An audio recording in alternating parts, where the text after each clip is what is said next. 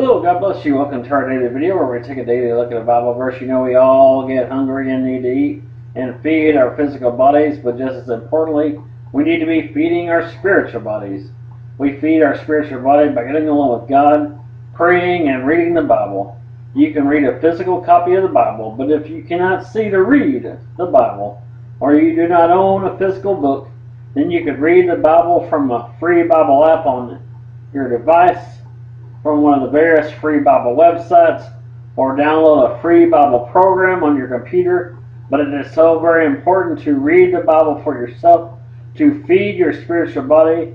This spiritual food will strengthen you and help you to face any and every trial, tribulation, temptation, and struggle.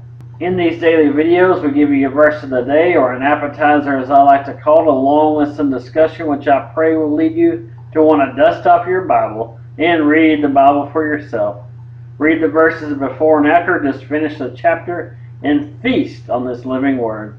Like I always say, read the Bible for yourself. Don't take my word or anybody else's. Read the Bible for yourself so you will not be deceived. I am just a person like you are. I am in no way special. I do not have all the answers. No one does. I don't care who they say they are pastor, a teacher, evangelist, prophet, seer, it does not matter. They do not have the answers that you're looking for.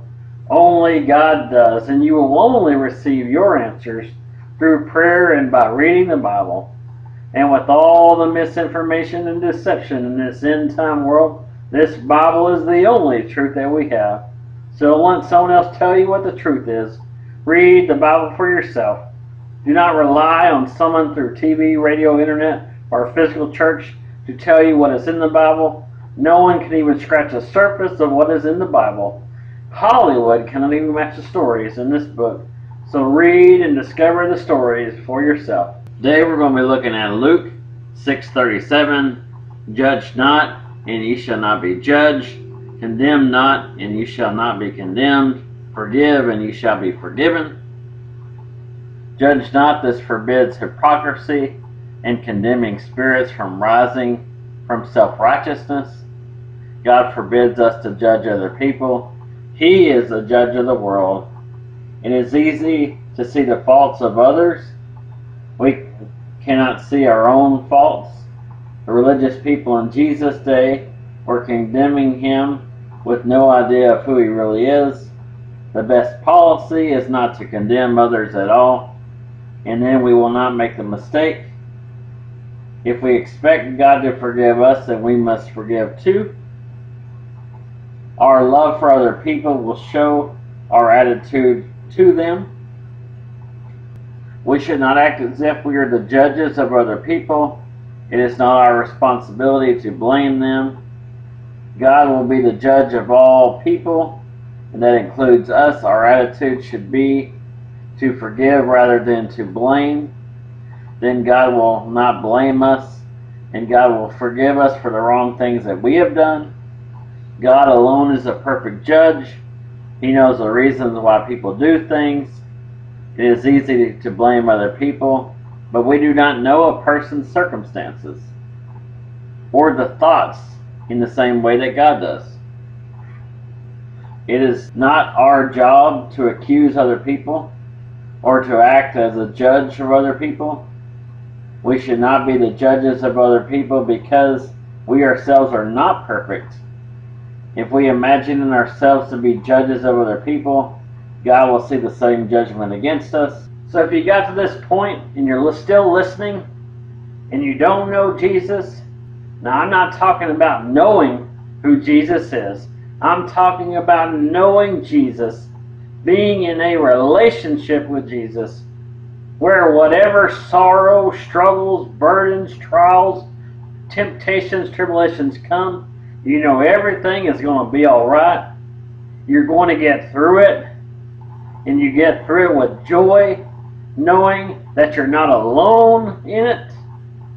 And if you don't know that Jesus, then please let me introduce him to you today.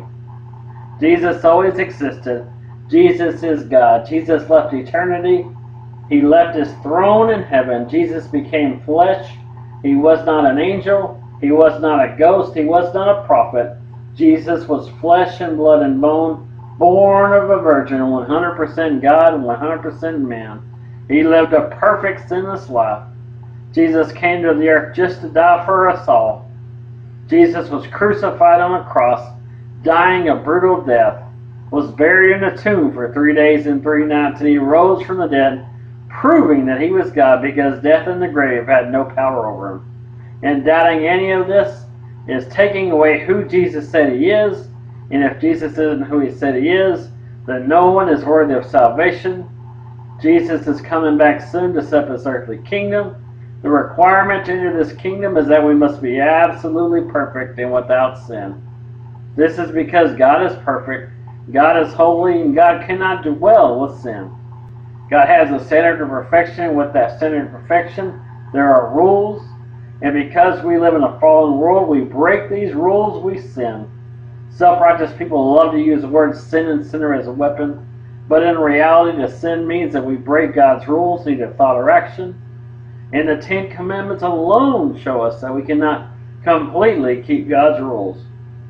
The Bible is clear that no one is without sin. In fact, the Bible says if we say that we're perfect and we don't sin, we are lying to ourselves and we are calling God a liar. Because we all fall short, we all miss the mark, we all sin. Sin creates a separation, a valley between God and man, and with each sin, that valley gets wider and deeper. That sin is there because we live in a fallen world. And because of this separation, there is a punishment for sin that has to be paid. The wages of punishment for sin is death. All of us face eternal judgment and separation from God because we break God's rules. And since no one is righteous, which means no one is perfect, something needs to bridge that valley of sin. And the only way to bridge that valley of sin and to pay the penalty for our sin is by the shedding of blood. In the Old Testament, they would use the blood of animal sacrifice. The animal sacrifice was only strong enough for one sin. Once they would sin, they would have to offer another animal. That animal sacrifice was like bridging that sin valley with a rope bridge. Once they would sin again, they would have to offer another animal because that valley would get wider and deeper and that bridge would snap.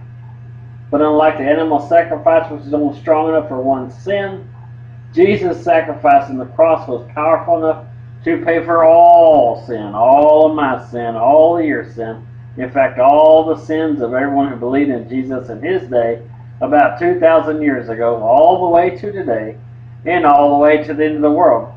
Jesus wants to save us from the penalty of our sins and give us eternal life.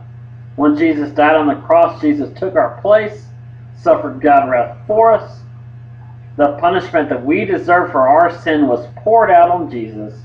The Bible says that God gave his son to the world to die in our place. Jesus took our sins. Jesus nailed our sins to the cross with him. Jesus shed his precious blood, which covered our sins. Jesus paid God's unpayable price to permanently bridge our valley of sin when Jesus died on the cross. Just like the song says, Jesus paid a debt he did not owe, but we owed a debt to God for our sin that we couldn't even begin to pay. And Jesus knew because of our sin that they were guilty, and we're the ones that deserve to die. And though Jesus was innocent of death, Jesus loves us enough that he died for us. And not only did Jesus die for us, but Jesus lives for us. Jesus is in heaven right now interceding for us as our mediator, testifying to God that we are His and that our sins are forgiven. This is why Jesus truly is the only way to the Father. He is the only one worthy to pay the price for our sin. Jesus paid our sin debt in full. Our debt had been paid. We're free to go. When Jesus died, He redeemed us from the bondage of sin, purchased us with His shed blood on the cross, Redeem means that Jesus purchased us, bought us back to Him. This is why you cannot earn salvation by your own works. Whatever makes you think you're good enough, whatever makes you think you're worthy of heaven, you may be saying you're not perfect, but you never stole anything, you never killed anybody, never done drugs, whatever it may be. If you think you can enter heaven without believing in Jesus, it will fail because the Bible is clear. Jesus is the door to get into heaven.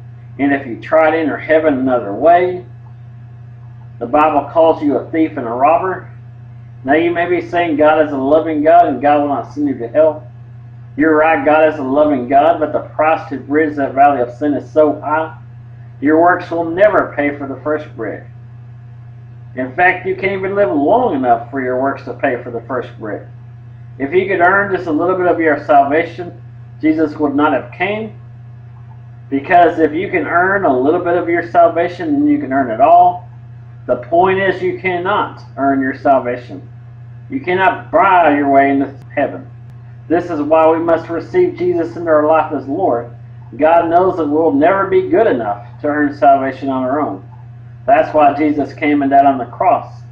Jesus is the only one who lived that perfect sinless life and became the substitute for our sins. And just like your works cannot buy your way into heaven, and you cannot earn your way, your salvation is also not based on the salvation of someone else. There is no legacies to get into heaven. Just because mama or grandma was saved, that doesn't mean that you're saved. You must individually accept Jesus' free gift. The Bible says whoever believes in Jesus will have eternal life. This free gift of eternal life is a life living with God forever in a world where God will wipe away all tears from our eyes. There will be no more sorrow, no more crying, no more pain, no more addiction, no more depression, no more sickness, no more disease, no more suffering, no more feeling alone, no more death. The burdens of this world will be no more. And if you never called on the name of Jesus, don't wait till you get a point in time in your life where you feel ready to come to Jesus, go to church or read your Bible. Don't wait till you overcome addiction. Don't wait till you're financially secure or whatever other excuse you may be telling yourself right now. Go to God right now Jesus loves you. Jesus will help you through any and everything that you're going through. Please do not think that you're unsavable, unlovable, unworthy, saying the ceiling will fall down. If you come to Jesus, go to church, or read your Bible, you may have had some self-righteous person in your life tell you that you're a sinner and going to hell. That person is not Jesus, and they do not represent Jesus. Because through our own works, none of us are savable, lovable, and worthy. The Bible says that our righteousness are as filthy rags, which means our perfectness in God's eyes are as bloody rags. That is why Jesus came and died for us all. Jesus knows that we're not perfect, so no matter what you may have been done in your past, no matter what you may be doing right now, I believe as long as there is breath in your body, there's a chance, and you have the opportunity today. And if anything I have said sounds like a Jesus you want to get to know, then I believe this is God calling out to you right now, today, telling you that you are savable, lovable, worthy. So please do not ignore God's call. Turn to Jesus today. Jesus loves you. Jesus will not condemn you. In fact, Jesus will help you through any and everything you're going through. So don't wait. Go to God now. Today is the day of salvation. And it's so simple. Just admit you're not perfect. Admit you don't have everything figured out. Admit you're a sinner. Admit you can't do this on your own, that you need a Savior. Believe in who Jesus is, that Jesus is the Son of God. Believe that Jesus is Lord. Believe that Jesus died for you, that Jesus paid for the price for your sin on the cross, and Jesus was buried and God raised Jesus from the dead, and now Jesus lives for you. So call out to God today. Confess your sins and repent. Repent means that you turn away from your sins. You have a change of heart, a change of mind do a 180, make a U-turn, change your behavior. When you repent, you tell God that you are sorry for breaking his rules. But more than that, it means that you see things as God sees them. And this makes you want to obey God's rules and not do anything wrong again. And you do not need someone telling you your faults, kicking you while you're down. You need someone who's going to pick you up. Just know that you're so loved, you're so special to God. When God formed you with his hands and placed you inside your mother's womb, God created you into the beautiful, unique person that you are. And God has a plan for your life. And like any good parent, God, who is our Heavenly Father, only wants the best for you. So seek Him today. Jesus is coming back soon. We can see all the signs that Jesus talked about. war, sicknesses, natural disaster. It's all happening worldwide.